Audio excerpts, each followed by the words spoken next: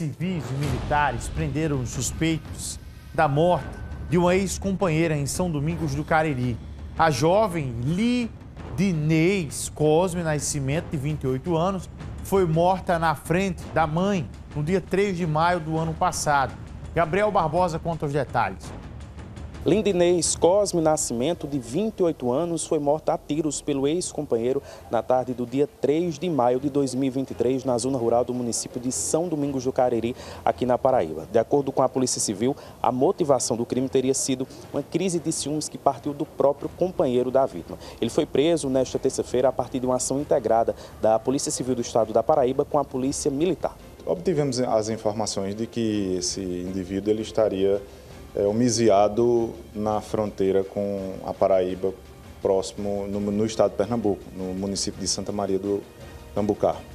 Então a gente montou a operação, que foi nomeada de invídia cruenta, é, em latim e no português é, ciúme sangrento, porque esse, esse indivíduo ele, ele assassinou a esposa com dois tiros da cabeça o ano passado, em maio, no município de São Domingos do Cariri.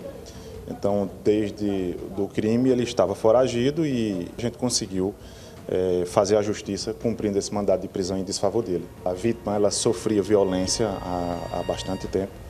Ele teve com ela quatro filhos e próximo do crime acontecer, é, ela já tinha se separado dele por conta dessas, dessas agressões.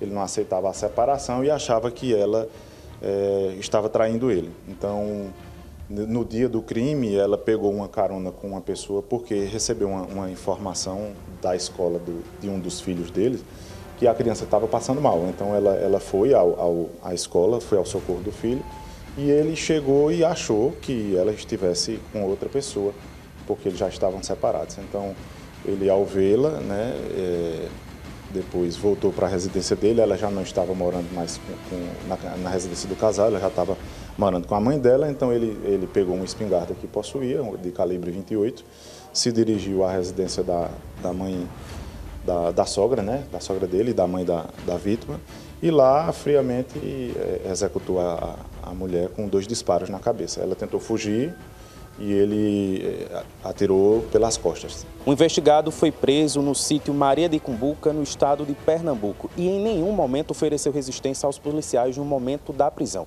Ele encontra-se aqui na Central de Polícia de Campina Grande, no bairro do Catolé, onde deve passar nas próximas horas por audiência de custódia. 6 horas e 40.